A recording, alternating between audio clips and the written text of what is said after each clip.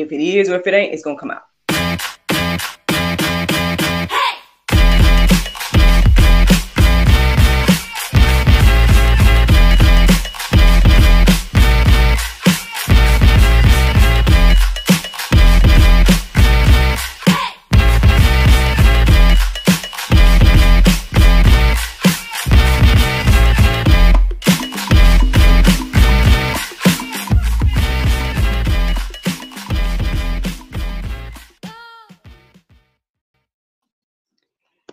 Good morning, everybody. It's your girl Miracle Sims, and you're listening to God, Sex, and Love.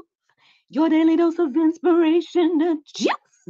It is March the 18th, 2024, and today the topic is unanswered prayers. Happy Monday.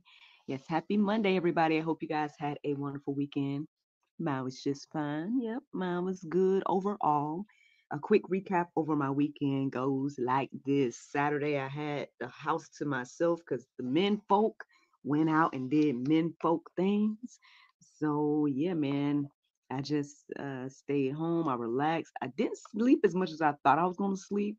So, after I did the juice, I pretty much, for the most, for the most part, I relaxed. I did um, place an order or two, you know, so I got my lunch delivered. And um, I watched, I guess I binge watched some different shows, and then I was also just working on um sharing about the book and everything like that. As you guys know, I made the announcement about my book, uh, my seventh self-published book last Saturday. So um, that was one thing. Um, my little guy NJ, he did a video, and I made a reel out of the video and whatnot. And the one on Facebook has almost 500 views. So man, uh, to God be the glory, you know what I mean? Um, for the favor that's on my son and his life and his presence and things like that. Um, you know, um, I appreciate those. I had a few people reach out to say that they purchased the book, so that is a blessing as well.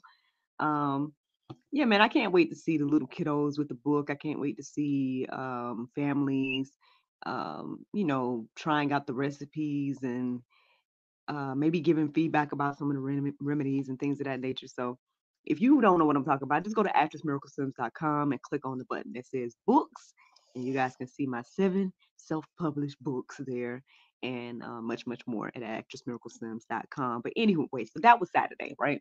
Sunday was good as well. I did end up working, you know, um, working two of the three gatherings um, and actually getting a chance to get a word in. Um, the minister yesterday was Brother RJ.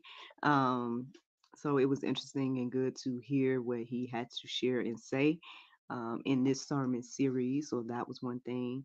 Um, yesterday was also St. Patrick's Day. So your girl uh, wore probably one of the most obnoxious um, green ensembles for the kiddos and whatnot. And um, I, actually, quite a few of the kids got into it and dressed up and whatnot as well. Um, so that was good to see participation in our Sunday fun day activities. It seemed like my idea, if I you know brush my own shoulders off a little bit, um, my idea to do the um, St. Patrick's Limbo as the uh, game seemed to be a good option and choice. That they seem to enjoy it and whatnot. So, I mean, you know, I can't complain, man. You know, um, it's truly, truly a blessing to be um, a part of the ministry at Mountain West. So yeah, that was my weekend in a nutshell. Let's go ahead and get into this conversation because yes, it's Monday morning and everything like that. And so yeah, man, um, let's take a little time to see what the Lord wanted to share through me about unanswered prayers. So how did I get to today's conversation? I mean, there could be a lot of things that led me to this topic. I mean, again, I shared with you guys about the video I watched uh brother Kanye, you know, um sharing about how I guess he got a problem with Jesus because he hasn't answered his prayers and things of that nature. So I'm sure that's part of the inspiration. Um, also, guess uh, just observations in my own life about you know myself and others. You know, I think all of us have at one time or another felt like, man, Lord, you're not answering my prayers, or I don't see what I desire, or any of those phrases that we could you know put in this blank to to I guess uh, help us understand like this feeling. Again i think majority of us have felt this at one time of our life or another. Now as a believer and as where i am today in my life i understand that if something is not answered right now that it perhaps may just not be the time but that doesn't mean that uh, the prayer won't get answered one of these old days so um, that encourages me and inspires me to keep going um, especially with things of the lord and um, things like that. Like for example, you know, I've been praying to get a venue again, you know. Um, but I'm not worried about it. You know, I know that whenever that time comes, I will have a venue again. Um, and even if the Lord don't allow me to have a venue again, that's still all right, you know. Because at the end of the day, I can I can see him building um, a strong foundation um, I guess you would say a virtual venue, if you will. And so, I mean, if that's the venue that I'm supposed to have instead of the physical one, I mean, to God be the glory. You know what I mean? Um, I'm okay with that, and I think that's part of the thing. We got to learn how to be okay with God's will, way, plan uh, for us in our lives. But um, again, for anybody that may be you know, saying like, man, you know, I prayed and I prayed and I prayed and I, I am not seeing the answer or I'm not getting uh, what I'm praying for and things of that nature. There could be uh, quite a few things um, as the reason why. Now, I know my my son. He, he you know, he, I always use him in that as an example every now and then, and I'm reminded that yesterday when he came up for prayer, he once again prayed for a dog. Now, the thing is again he don't know what but he's listening to me right now so he probably gonna find out but his his father wanted him to have a dog from birth so it's very interesting the fact that he wants a dog um so so much right now and he may be wondering like i done prayed to jesus so many times about me getting a dog and i still don't have one um, but again, there could be so many reasons why he hasn't quote unquote received the dog, right? Right now, it might not be the best time for us as a family to get a dog, you know, and add uh, extra mouth on in, on top of the three mouths that are currently in our household, you know.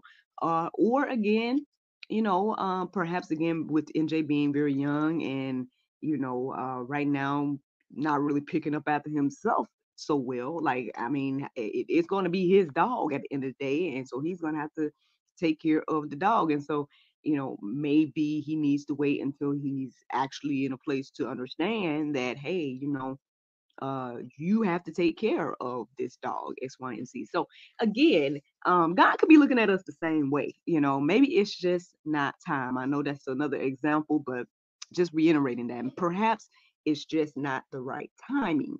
But for those that um, say you've been praying for years for something, right? Say you've been desiring something for years, whatever the case may be, there are some things beyond just it not being the right time and stuff like that that could be the reason why you're uh, you are experiencing unanswered prayers. So here goes some verses that were standing out to me this morning to share. James 4 and 3. It says, You ask and do not receive because you ask wrongly to spend it on your passions. So again, um, not only could it not be the time, but you could be asking for the wrong thing. Like again, um, if you are asking for a married man, then then you asking for your own passions. That that is not the will of the Lord. Now, sure, some people get those desires um, and things of that nature, but that does not mean um, that that situation is blessed and things like that. Um, we can see again many biblical figures that crossed the line and desire things that did not belong to them, and we see how that uh, panned out.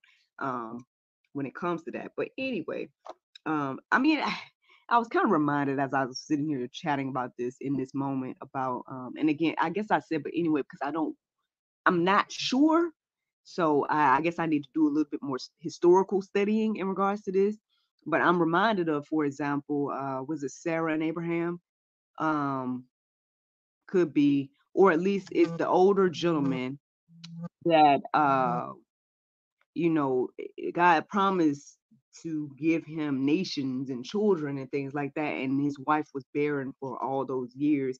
And so his wife encouraged him to, I guess, you know, um, have relations with their servant and whatnot. And um, although they conceived, um, this was not the overall plan and will of the Lord. And so it seems to me that the nation in conflict, and again, I could be wrong, so I would stand corrected if I, you know, if anybody comes in and be like, oh, you got this wrong. But my understanding is that the Palestine and Israel um, debate and fight is between these two bloodlines, um, these this family that has been um not say separate family, but y'all get what I'm saying. Like from the these two family bloodlines, um, is what this this conflict is still going on about today. Now, again, I got to go do my research on that, but that's just an example again of things being out of the will of the Lord. I mean, obviously, we know that David is an example of this as well. I mean, he was looking down at Bathsheba, you know, and I don't know why she was taking a bath in a place where he should be able to see outside. Maybe she was swimming and they called it a bath. I don't know. But whatever it was, um, he saw her, he wanted her, she's married, you know, all these things. And so, again, another example of asking for things that you are you're asking wrongly for things that you know either aren't yours you want for your own passions things of that nature. So that could be one of the reasons why your prayers aren't being answered. Now this next one is geared towards husbands but hey man um i would say even this might be for wives as well. Um and this is what it says it's first peter 3 and 7 it says likewise husbands live with your wives in an understanding way showing honor to the woman as the weaker vessel since they are heirs with you of the grace of life, so that your prayers may not be hindered. Uh, perhaps your prayers are being hindered because you're not treating your spouse correctly. Um, you know, I would say husbands and wives, even though this is geared toward the husbands. Um, but yeah, I mean, if you are out of order, not treating your spouse correctly, perhaps God is not answering uh, your prayers. You know, again, I got to humble myself to say, okay, you know, am I uh, being the best wife possible? Um, things of that nature, you know, and so um, husbands should do the same. Um, I believe that again, their relationship with the Lord, as well as their relationship with their wife, uh, plays a huge part on their prayers being answered. Um, and so that's just something to think about. Let's keep going. Here's another example um, in Psalm 66 and 18. It says, If I had cherished iniquity in my heart, the Lord would not have listened. So, I mean, if you hold an iniquity in your heart, if unforgiveness, things of that nature, then perhaps this is another reason why your prayers are, are not being answered. Um, perhaps you need to go forgive your brother or not hold on to the iniquity, things of that nature. Confess your own sins things like that. Um, all of these things again can be playing a part in your unanswered prayers. I got one more verse, y'all, and it's John 15 and 7. It says, If you abide in me and my words abide in you, ask whatever you want, and it will be done for you. Friends, I mean, there you go. You have to be in alignment, abiding in the Lord um, and his word and things of that nature. Now, you might not get it when you want it, right? But as the song say, it will be right on time.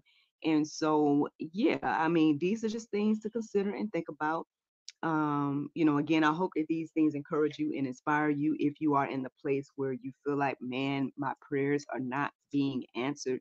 Um, if this is something you need to go deeper about, feel free to check out any of the verses in the Go Deeper section.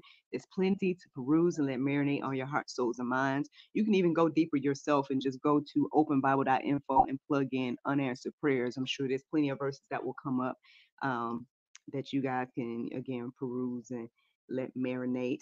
Here's another uh, thing that's at gotquestions.org. It's an article that you guys can check out if you are in this place, and it's called How Should a Christian Respond to Unanswered Prayers? If you call yourself a Christian, a Bible believing person, then check out this um, article. Hopefully, it will encourage you and inspire you about this.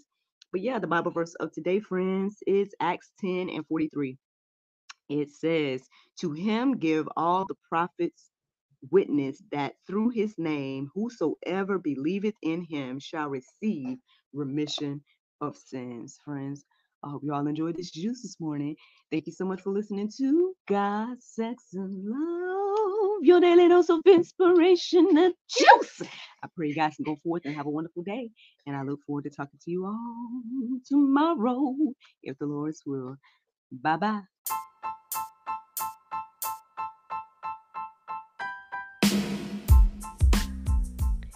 Did you know that you can support us for just 99 cents a month? That's right, friends. You can support everything that we do here at GSL for just 99 cents a month. Take a look around wherever this post is. You might see a link or maybe even a button that says support. Go there, check out the options, consider supporting us because, you know, we enjoy bringing you all the daily inspiration as well as the weekly talk show, but we have much, much more to come. Thank you so much for the consideration. Bye bye.